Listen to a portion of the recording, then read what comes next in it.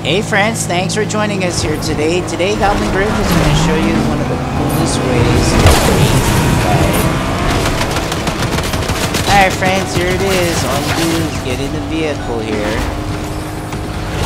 and drive it up on the loop. So what you gotta do is you gotta find the cool little rifts. There you go. Back up. Get ready. And just drive it on. Why is this cool? You could capture the flag while you're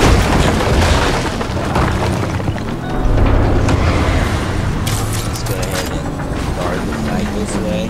It's kind of neat. See if somebody else will bring up a uh, vehicle. But if you haven't tried this yet during this season of Fortnite, make sure you do so. It is really cool.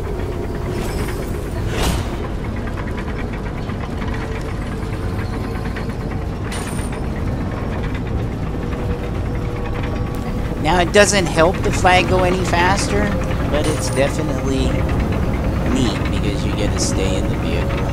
There's somebody coming. Let Goblin Griff finish this quest for everybody to see. You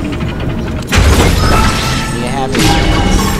That's how you raise the flag on the floating island. The easy way. Alright, Griff, let's move on to the next quest.